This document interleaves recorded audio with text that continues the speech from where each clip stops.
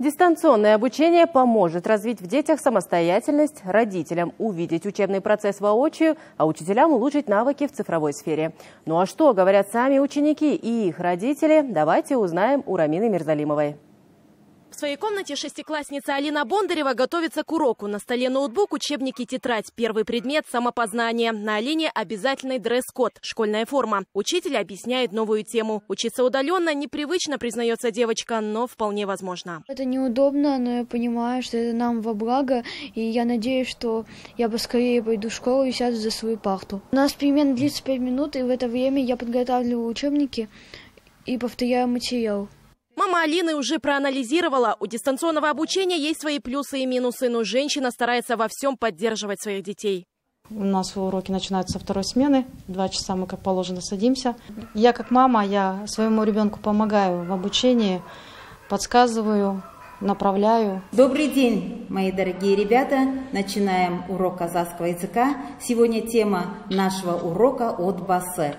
А здесь проходит урок казахского языка. Тоже дистанционно его проводит Риза Турлубаева. Государственному языку она учит детей уже 20 лет. Сейчас работает в 95-й школе города. Здесь обучаются около полутора тысяч школьников. Открыт один дежурный класс. Остальные получают знания в дистанционном формате. Вчера у нас э, начались занятия по всей стране.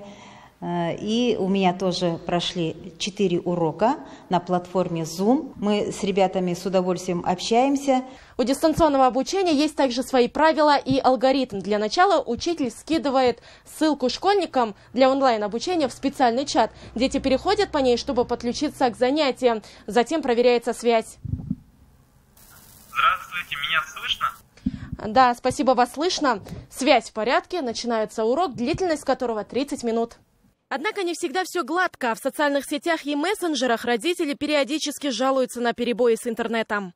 Здравствуйте, у меня сын первоклассник, ребенок на дистанционном обучении. Мы решили пока учиться дома, но периодически у нас бывают сбои с интернетом. Мы живем в микрорайоне Ахбулах, но у нас в новых улицах не проведен интернет, а дистанционное обучение уже началось. Как быть? Городские власти заверили, проблему уже решают. Все так называемые слепые зоны, их в городе 169 точек, где низкая проводимость интернета и мобильной связи, будут устранены. Сейчас работы завершены в 140 точках. Между тем, некоторые психологи говорят о преимуществах дистанционки. Когда происходит какой-то урок, если он что-то не понял, он может по записи посмотреть. И это хорошая наработка своей самостоятельности.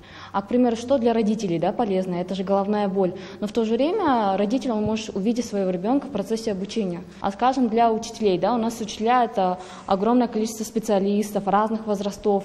И тогда они могут уже наработать себя в digital-сфере. Продлят ли дистанционку до конца года, пока неизвестно, но важно понимать, что такое решение принято во благо здоровья детей. Рамина Мирзалимова, Мира Мисабеков, телеканал Алматы.